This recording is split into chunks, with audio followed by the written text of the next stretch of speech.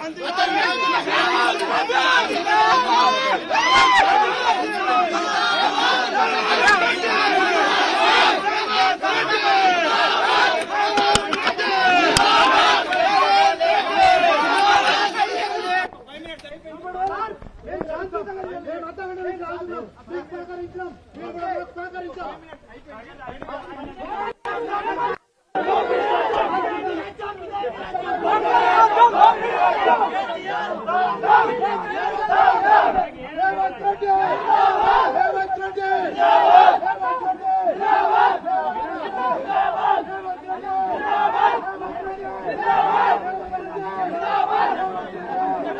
Come on!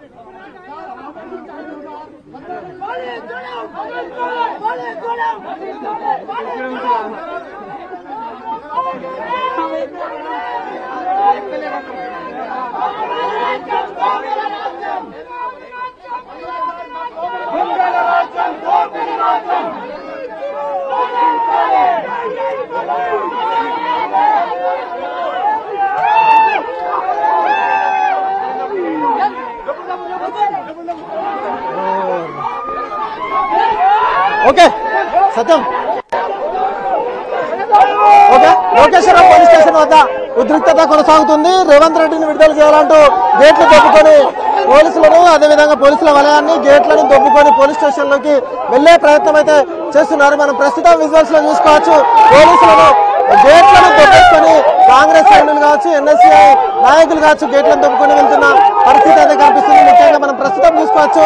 ఇక్కడ ఉద్రిక్త పరిస్థితులు అయితే కొనసాగుతున్న పరిస్థితి అయితే కనిపిస్తుంది. రేవంత్ రెడ్డి అరెస్ట్తో వివిధ ఏరియాల నుంచి కాంగ్రెస్ శ్రేణులు ఎన్ఎస్సీఐ నాయకులు అయితే భారీ సంఖ్యలో తరలి వస్తున్నారు అయితే పో- వెంటనే విడుదల చేయాలి. లేదంటే తాము పోలీస్ స్టేషన్లోకి వస్తామంటూ వీళ్ళు ఇక్కడ నిరసన వ్యక్తం చేస్తున్నారు. ఆందోళన వ్యక్తం చేస్తున్నారు.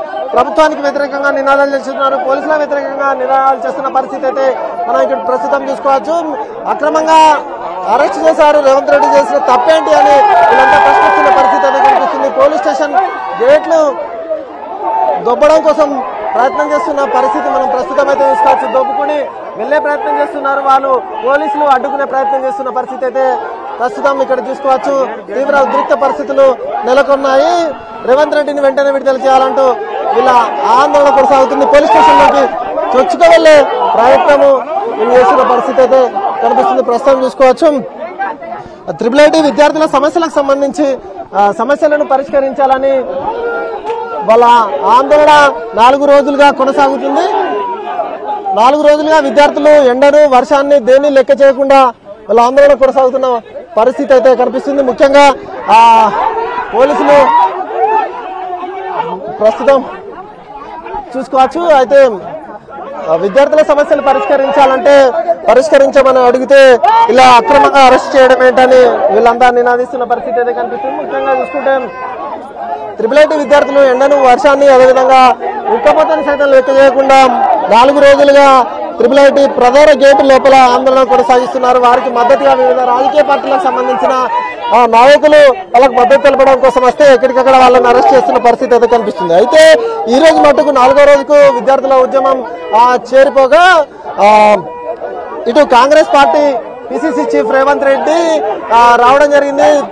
ట్రిపుల్ ఐటీలోకి ట్రాక్టర్ ఎక్కి అదేవిధంగా నడుచుకుంటూ ఆ చెట్ల పొదల గుండా మారుగా అంటే అంతమంది పోలీసుల కళ్ళు కప్పి ట్రిపుల్ ఐటీలోకి ప్రవేశించడం జరిగింది. విద్యార్థుల సమస్యలు తెలుసుకునే ప్రయత్నం చేస్తున్న క్రమంలో అతన్ని అరెస్ట్ చేసి వివిధ గ్రామాల గుండా లోకేశ్వరం పోలీస్ స్టేషన్కు తీసుకురావడం జరిగింది. దీంతో పాటు అటు బీజేపీ నాయకులు సైతం triple IT gate triple IT గోడ దూకి లోపలికి వెళ్ళే ప్రయత్నం చేయడం జరిగింది. అక్కడ సైతం వాళ్ళని అరెస్ట్ చేసి స్టేషన్లోకి తరలించారు. దీంతో పాటు గత రెండు మూడు రోజులుగా చూసుకున్నట్లయితే ట్రిపుల్ ఐటీ ట్రిపుల్ ఐటీ ముందు ధర్నా చేస్తున్న వారందరినీ ఎవరైతే వస్తారో వాళ్ళని అరెస్ట్ చేయడం స్టేషన్లో తరలించడం అనేది జరుగుతుంది. అయితే రేవంత్ రెడ్డిని ప్రస్తుతం ఆ లోకేశ్వరం పోలీస్ స్టేషన్లో ఉంచడం జరిగింది.